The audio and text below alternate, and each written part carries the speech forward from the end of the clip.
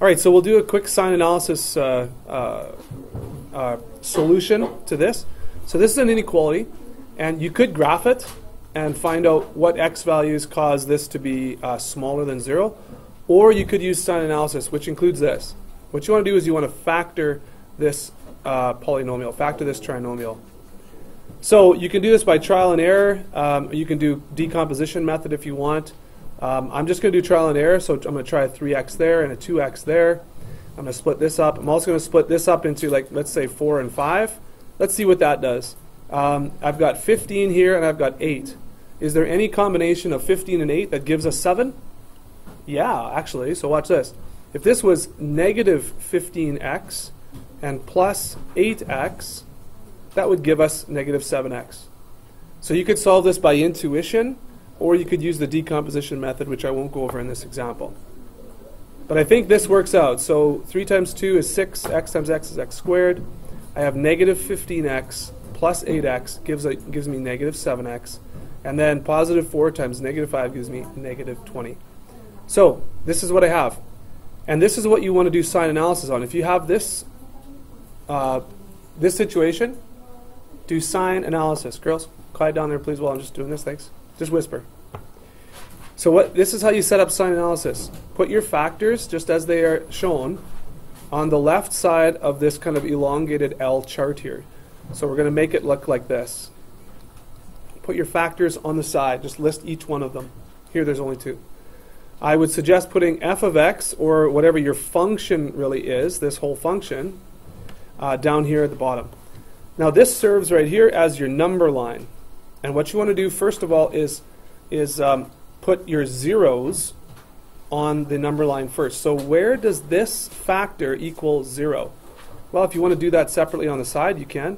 3x plus 4 equals uh, 0. Where does that happen? Well, when 3x equals negative 4, or when x equals negative 4 over 3.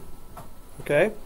So you put that on your number line somewhere down here, just make anywhere negative 4 over 3 on your number line.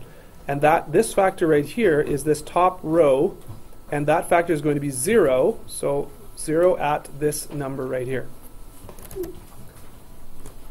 Now what you do is you fill in the, to the left of the 0 and to the right of 0 whether that factor is positive or negative given the values on the number line. So if we have a value that's less than negative 4 over 3, let's, let's say negative 10. That's just a random number, negative 10. That's clearly over here on the number line. So negative 10, what happens if I put a negative 10 in for x? Well, let's just see. 3 times negative 10 plus 4 is going to equal negative 26. So this is the big thing, negative. So all of these values to the left of this 0 are negative. You put negatives there. And it, as it follows, if you have a large x number, 3 times a large number plus something is going to be positive. So one side is going to be negative and one side is going to be positive. A little hint, here's a little hint, if you can remember this. If this x term is positive itself, then when you find the 0, it's always going to be negative to the left and positive to the right. Okay? But you still should check just to make sure. So here we go. 2x minus 5. Well, 2x minus 5 equals 0. Where is that? Well, that's 2x equals 5. x equals 5 over 2. So positive 5 over 2 is going to be over here to the right of this number on the number line. That's where we're going to have a 0. And again, any number that's less than 5 over 2, like 0 is in here somewhere, 2 times 0 minus 5 is a negative number. 0 minus 5, that's negative 5. So you're going to have negatives all the way over here and positives all the way over here. So setting up the sign analysis chart is the big, most important thing. Now that we've got this, we've got all the factors and we've got sort of their positive, negative uh, part of the domains there, we've got that identified. Now what we do is this. This is crucial.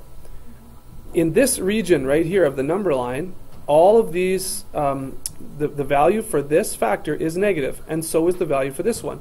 So if you have a negative number, times, right here, a, a negative times a negative, what do you get? You get a positive value, so you write positive underneath here. The function itself is positive if any of the x values are over here, because it's a negative times a negative.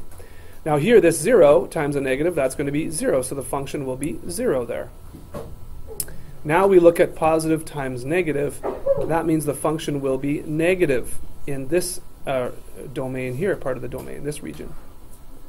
Positive times 0 is 0, and positive times positive is positive. So this is really what we're after down here, right? We're after this. You want to know where the function is positive, negative, and 0. And that will tell us where the solution is for our original question. So here's the answer. So watch this. I'll put it in red. So where is the function less than 0? That is, where is it negative? Well, it's negative right here. It's 0 at negative 4 over 3 and 0 at 5 over 2. But because there's no or 0 in the question, we reject those actual values. So the answer is this. The solution set is anywhere where x is between, so you use these this notation, between negative 4 over 3 and positive 5 over 2. And you can put comma xer if you want. You don't have to for me. But that is your solution. So let me just uh, show you. I'll zoom in there. So that is your solution. Negative 4 over 3, less than x, less than 5 over 2. Because this is the, the area where that function is negative, and that lines up with your question. Where is this function negative? Okay? So that's what sign analysis looks like, and that's how you're going to use that on your, uh, on your test for this chapter. Any questions about that? Okay? List all the factors over here on the left, list them all, and do this little row for each one. Zero, negative, positive, and then you multiply down to get where the function is negative and positive. Okay?